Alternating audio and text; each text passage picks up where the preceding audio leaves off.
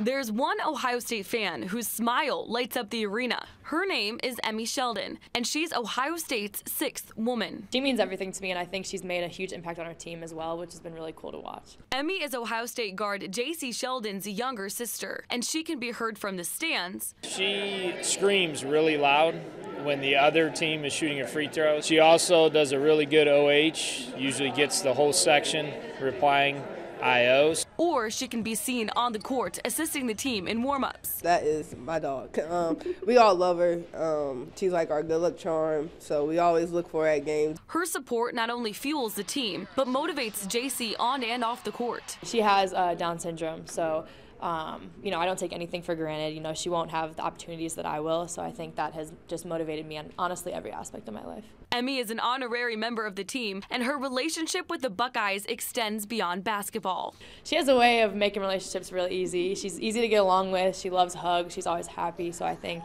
um, getting to know everybody in this team has been good for her, and then you know even just as good for all of us. They were at our house for Emmy's birthday the team came to our house. I mean, they've just really kind of taken. She's like the sister to all of them, which has been awesome. Teammates in life, Emmy and Jacy teach each other important lessons. Emmy's been really good for Jacy, who doesn't hasn't always had a lot of patience, and so their relationship is kind of her trying to help Emmy grow, but at the same time, I think Emmy has helped Jacy grow just as much. But above all, Emmy is a proud sister. I said proud my sister because I did play a game and just with me.